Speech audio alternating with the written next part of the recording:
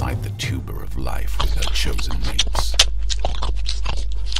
Never touching the outside of the tuber, it just grows and grows, sustaining her colony. Her slave workers burrow, extending her dominion, seeking out other tubers. Behold, the naked mole rat.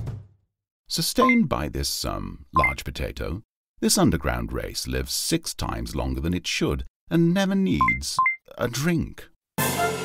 No, just a bit of my poop is all they need. Ah, yes, the magical queen poop. Packed with, um, hormones, but clearly tasty.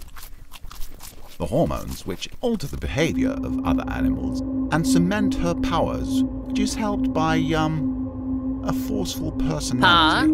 Superpower. I can give birth to 20 royal pups at a time, every three months.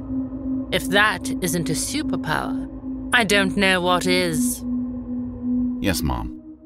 Far away at the outer reaches of the Tunnel Kingdom. I can't stand it anymore, Samshi. I have to escape and find my own way. No, Aiden. Here, away from the Queen's control, I too may soon be able to give birth. Then, then, and think, think. The power, the excitement, but also the danger out there. I'd rather not. Aiden! Aiden!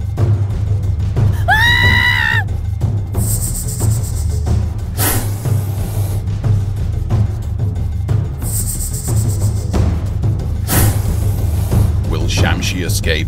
Find out in the next episode of Naked Mole Ravolt.